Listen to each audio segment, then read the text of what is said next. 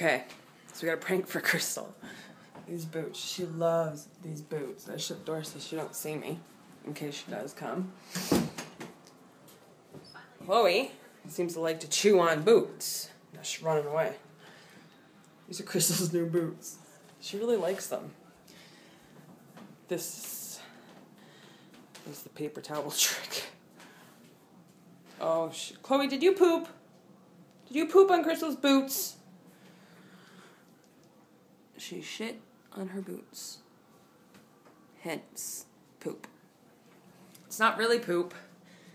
It's made of a toilet paper roll. That's what Crystal gets for uh, not coming home when she she wants. She's gonna flip out. So when she comes home and she sees her boot there, she'll come looking for her other boots.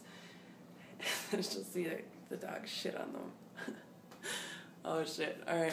I'll uh I'll tape it when she comes in.